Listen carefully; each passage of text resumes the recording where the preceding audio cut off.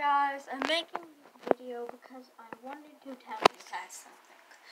I promise that eventually, one day, when I am able to get in, like, actually working phone, then, um, I will be uploading more Triforce Heroes vines.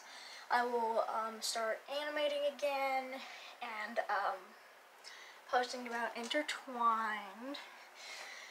And um, I will also continue my The Legend of Zelda Triforce Heroes single player series and so much more. So I just want you guys to know that one day I will fully be back and you won't have to watch these little short, basically non-videos anymore.